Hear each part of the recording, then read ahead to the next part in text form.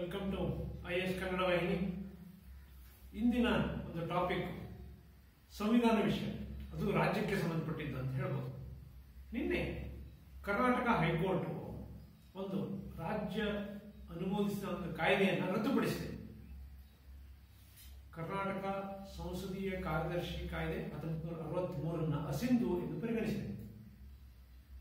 ಕಾರಣ ಏನು? ಇದರ ಹಿನ್ನೆಲೆ ಏನು? ಸಾಮಾನ್ಯವಾಗಿ ರಾಜ್ಯ ವಿಧಾನಸಭೆ ಮತ್ತು ವಿಧಾನ ಪರಿಷತ್ ಸದಸ್ಯರು ತಮಗೆ ಸಚಿವ ಸ್ಥಾನ ಸಿಗದೇ ಇದ್ದಾಗ ಅತೃಪ್ತರಾಗಿ ರಾಜಕೀಯ ಚಟುವಟಿಕೆಗಳಲ್ಲಿ ತೊಡಗುವುದುಂಟು ಹೀಗಾಗಿ ಮುಖ್ಯಮಂತ್ರಿಗಳು ಅವರನ್ನು ಅವರನ್ನ ತೃಪ್ತಿಗೊಳಿಸುವ ಸಲುವಾಗಿ ಕೆಲವೊಂದು ಹುದ್ದೆಗಳನ್ನು ನೀಡಬೇಕಾಗುತ್ತೆ ಅದೇ ರೀತಿ ಈ ಸಂಸದೀಯ ಕಾರ್ಯದರ್ಶಿ ಕಾಯ್ದೆ ಅಡಿಯಲ್ಲಿ ಎಂಟರಿಂದ ಹತ್ತು, ಹತ್ತರಿಂದ ಹನ್ನೆರಡು ಕಾರ್ಯದರ್ಶಿ ಹುದ್ದೆಗಳನ್ನು ನೇಮಕ ಮಾಡ್ತಿದ್ರು ಈ ಕಾರ್ಯದರ್ಶಿ ಹುದ್ದೆಗಳ ನೇಮಕ ಮಾಡೋದು ಸಂವಿಧಾನ ಹಿನ್ನೆಲೆಯಲ್ಲಿ ಅಥವಾ ವಿಧಿ ನೂರ ಅರವತ್ನಾಲ್ಕು ಒಂದ್ ಎ ಅದರ ಅಡಿಯಲ್ಲಿ ತಪ್ಪು ಅಂತ ಹೇಳಿ ಕರ್ನಾಟಕ ಹೈಕೋರ್ಟ್ ಅಭಿಪ್ರಾಯಪಟ್ಟಿದೆ.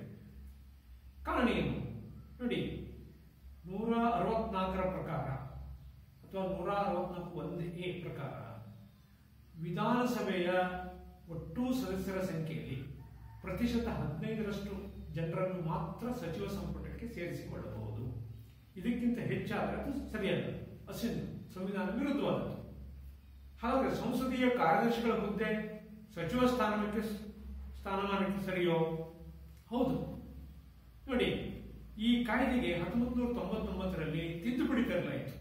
ಆ ತಿದ್ದುಪಡಿಯ ಪ್ರಕಾರ ಈ ಸಂಸದೀಯ ಕಾರ್ಯದರ್ಶಿಗಳಿಗೆ ಒಂದು ರಾಜ್ಯ ಸಚಿವ ಅಥವಾ ಉಪ ಸಚಿವ ಸ್ಥಾನಮಾನವನ್ನು ನೀಡಲಾಗಿದೆ ಅವರಿಗೆ ಪ್ರಮಾಣ ವಚನ ಸಂಬಳ ಭತ್ಯೆ ಸವಲತ್ತು ಇಂತ ಇತ್ಯಾದಿಗಳನ್ನು ನೀಡಲಾಗಿದೆ ಸೊ ಹೀಗಾಗಿ ಮುಖ್ಯಮಂತ್ರಿಗಳು ಹದಿ, ಪ್ರತಿಶತ ಹದಿನೈದಕ್ಕಿಂತ ಹೆಚ್ಚಾಗಿ ಈ ಸಂಸದೀಯ ಕಾರ್ಯದರ್ಶಿಗಳನ್ನು ನೇಮಕ ಮಾಡಿಕೊಂಡಾಗ ಅವರು ಸಹ ಸಚಿವ ಸ್ಥಾನಮಾನಕ್ಕೆ ಸರಿಯಾದದ್ದು ಅಂದ್ರೆ ಹದಿನೈದು ಪರ್ಸೆಂಟ್ಗಿಂತ ಹೆಚ್ಚಾಯಿತು ಹೇಳುವಂತ ಅಭಿಪ್ರಾಯ ಪಡ್ತು ಹೈಕೋರ್ಟ್ ಸೊ ಹೀಗಾಗಿ ಅದನ್ನು ರದ್ದುಗೊಳಿಸಿದೆ ಹಾಗಾದ್ರೆ ಹೈಕೋರ್ಟ್ ಇಂತಹ ತೀರ್ಮಾನಕ್ಕೆ ಬರಲು ಇರುವ ಮುಖ್ಯ ಕಾರಣ ಅಂತಂದ್ರೆ ರಾಜ್ಯ ವಿಧಾನಸಭೆಗೆ ಇಂತಹ ಒಂದು ಕಾಯ್ದೆಯನ್ನ ಅನುಮೋದಿಸಲಿಕ್ಕೆ ಶಾಸನೀಯ ಅಧಿಕಾರ ಉಂಟೆ.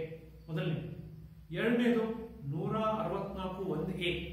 ಭಾರತ ಸಂವಿಧಾನ ನೂರ ಅರವತ್ನಾಲ್ಕು ವಿಧಿ, ನೂರ ಅರವತ್ನಾಲ್ಕು ಒಂದೇ ಪ್ರಕಾರ ಇದು ಸಹ ತಪ್ಪು. ಸೊ ಹೀಗಾಗಿ ಈ ಎರಡು ಕಾರಣಗಳ ಮೇಲೆ ಮತ್ತು ಮೂರನೇದಾಗಿ ಸುಪ್ರೀಂ ಕೋರ್ಟ್ ಎರಡ್ ಸಾವಿರದ ನಾಲ್ಕರಲ್ಲಿ ಅಸ್ಸಾಂ ರಾಜ್ಯದಲ್ಲೂ ಇಂತಹ ಒಂದು ಕಾಯ್ದೆಯನ್ನು ಮಾಡಲಾಗಿತ್ತು. ಅದನ್ನು ಸಹ ಸ್ಟ್ರಕ್ ಮಾಡಿದೆ ಅಥವಾ ರದ್ದುಗೊಳಿಸಿದೆ ಈ ಮೂರು ಆಧಾರಗಳ ಮೇಲೆ ಕರ್ನಾಟಕ ಹೈಕೋರ್ಟ್ ಇಂತಹ ಒಂದು ಕಾಯ್ದೆಯನ್ನು ರದ್ದುಗೊಳಿಸಿದೆ. ಸೊ ಸ್ಪರ್ಧಾತ್ಮಕ ಪರೀಕ್ಷಾ ದೃಷ್ಟಿಯಿಂದ ವಿದ್ಯಾರ್ಥಿಗಳು ಈ ಟಾಪಿಕ್ ಅನ್ನ ಗಮನಿಸಬೇಕು.